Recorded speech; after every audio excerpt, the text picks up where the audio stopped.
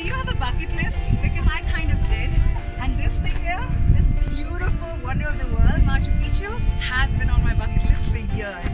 And guys, I'm finally here in Peru at Machu Picchu. Say what? According to Urban Dictionary, bucket lists are things to do before you hit the bucket. So what's on your bucket list, Trish? I want to fall in love with an exotic man in an exotic country. I want to swim with dolphins. Swim with dolphins. Yeah. That sounds do something like ah. Make travel videos. Climbing Mount Everest. Oh, that's a good one to have. Swimming with sharks in South Africa. I want to go to the Taj Mahal. She wants to go to the Taj Mahal. Machu Picchu. Machu Picchu is on my bucket list. Machu Picchu is on our bucket list. Machu Picchu Machu Picchu was on my bucket list. Do you have a bucket list?